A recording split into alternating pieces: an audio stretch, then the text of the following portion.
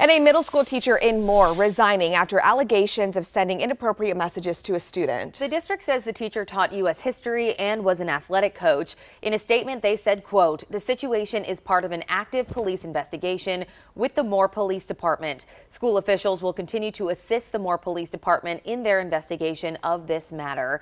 So now the State Board of Education is considering revoking that teacher's teaching license.